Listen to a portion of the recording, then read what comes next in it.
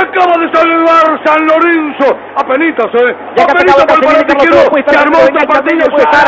Se viene Tevez otra vez al medio, tira el centro, pasó, puede estar el primer gol. ¡Gol! Centurión.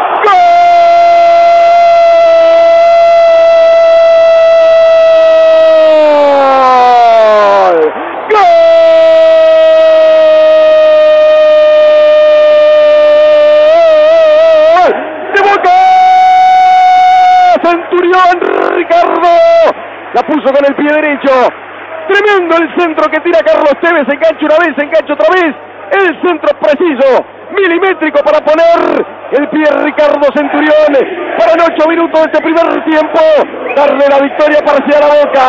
Inconmensurable. Hermoso lo que hizo Carlos Tevez para dejar pagando Iberia, para dejar pagando a toda la defensa de Colón, para en el día del migrante veremos si se va Tevez o no, con esta sutileza, lo ubica Centurión, que le devuelve la gentileza, la manda a guardar, no pudo hacer nada Brown, golazo de Boca, en 10 minutos del primer tiempo lo hizo Centurión, Boca 1 con el 0.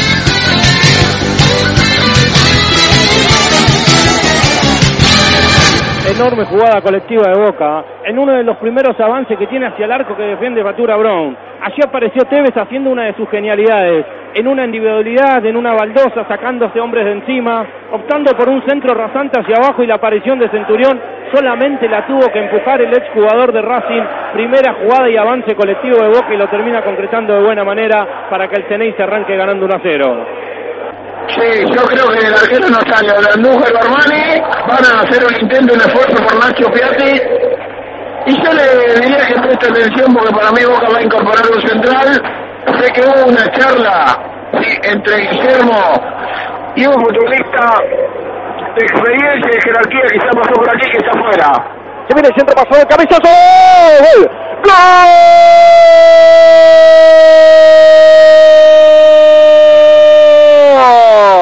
¡Gol!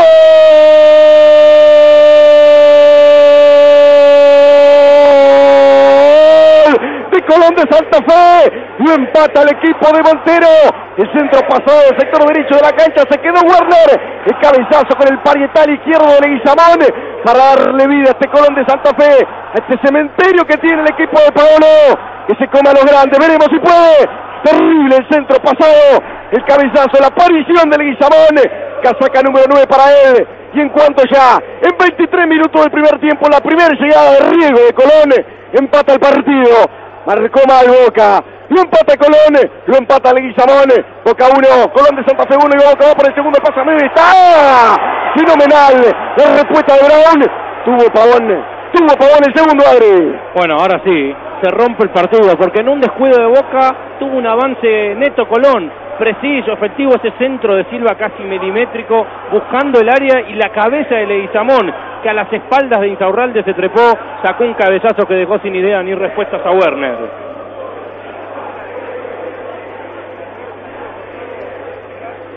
Bien, eh. está el arquero de Colón de Santa Fe tirado en el suelo.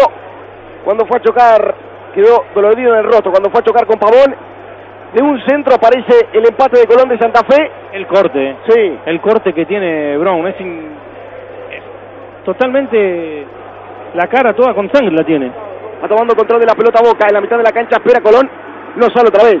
Deja que Boca tenga el control de la pelota. Y bueno, porque es la idea, es la idea salir de contra, esperar que Boca quede descompensado en, última, en la última línea y allí poder contrarrestar la idea que tiene el Ceney. Ahora, cuando se animó Colón, empató el partido. Sí, y lo hizo a través de un descuido que tuvo Boca.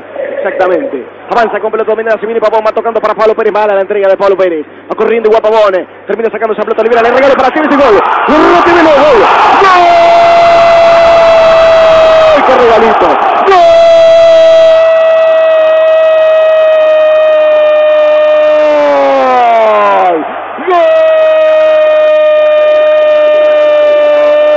¡Gol de Boca!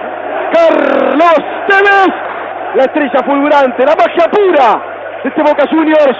En cuanto ya, en 30 minutos del primer tiempo, un regalo de principiante, un error imperdonable, un error efímero en la defensa de Colón de Santa Fe. Impresionante la defensa, con muchas fisuras. Se la dejaron servida Tevez, que sin arquero. Dijo, tomá, se vive la dan, yo no perdono. Otra vez Carlos Tevez en 30 minutos con una sutil definición con el pie derecho para empujar la pelota a la red. No estaba el arquero, no estaba Brown. Sí estaba Carlos Tevez en la despedida del 10, en el retiro, en el homenaje. En 30 minutos del primer tiempo, lo da vuelta, Boca lo gana. Carlos Tevez, Boca Junior 2, Colón de Santa Fe 1.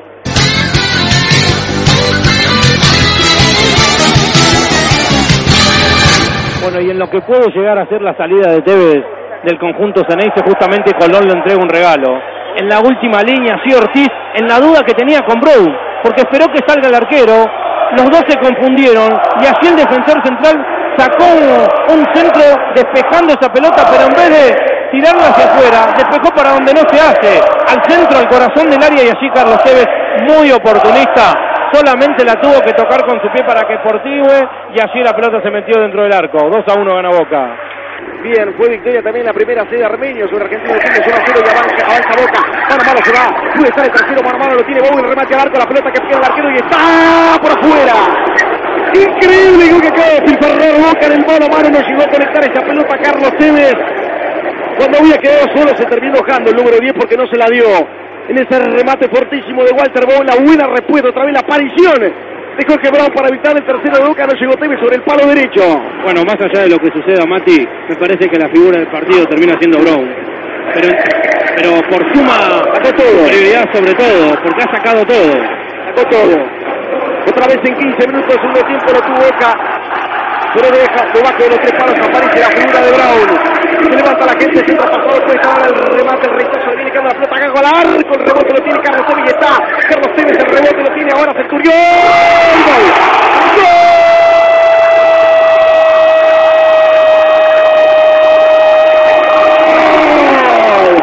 ¡Gol!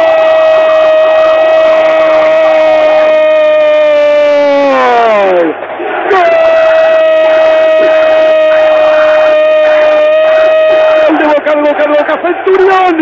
Ricardo, el caco Centurión la colgó de un ángulo, se cansó. Dijo, basta para mí, basta de Brown. Se cansó de que el arquero de Colón sacara todo.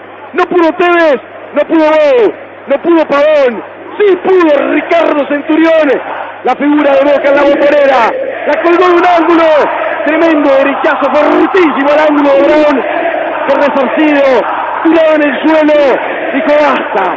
Yo no puedo sacar todo, hagan algo, compañeros, hagan algo. Parado, miraba Colón de Santa Fe. El cuarto gol, perdón, el tercero de Boca. En cuanto en 16 minutos 17 del segundo tiempo aparece Centurión. La colgó de un ángulo el ex hombre de Racing. Gana Boca 3 a 1.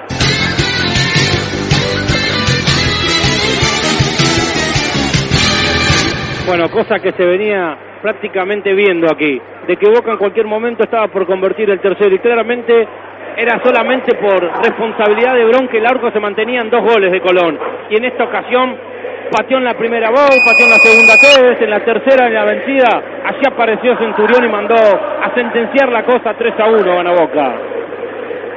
Bien, no entiendo el cambio. Sí, bueno, si quiere explico, trato de explicar lo que puede llegar a ser lo que, pa- lo que pasó por Montero en la cabeza. Meter un rápido y sacar un estático. Si la pelota al 9, por más que haya sido lo más desequilibrante, no le llega. Entonces buscas a alguien por afuera que pueda conectarse un poco más con el balón en las pocas veces que llega Colón. Iba Boca por el cuarto, se mete al medio, le va a pegar Pavón al arco, remate de ahí, golazo.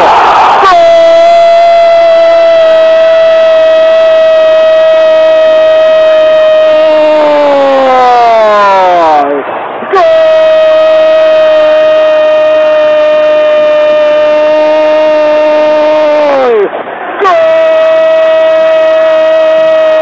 ¡Gol de Boca Juniors!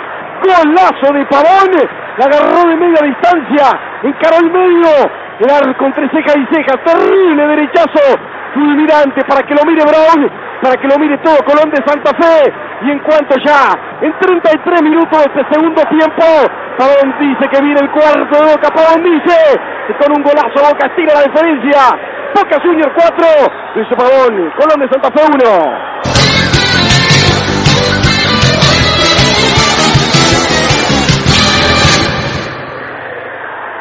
Bueno, un misil, un misil lo que ha sacado Pavón, enganchándose adentro como es habitual en él, buscando la pierna más hábil, en esta ocasión nuevamente optando por el remate hacia el arco, no miró a nadie, no miró si tenía compañeros, decidió lo tenía pensado, esa pelota vino con tanta violencia hacia el arco que ni siquiera llegó a meter el manotazo, Brown. Golazo del número 7 de Boca.